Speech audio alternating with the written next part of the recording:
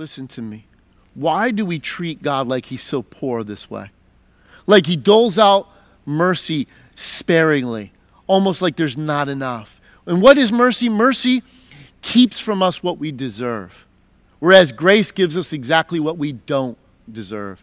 God is rich in mercy. His mercies are new every morning, and great is his faithfulness. His mercies endure forever. That's why the New Testament tells us the good news that we can come boldly to the throne of grace to obtain mercy and find grace that helps us in time of need. Why? Because God is rich in mercy. And he loved us so much. Notice that.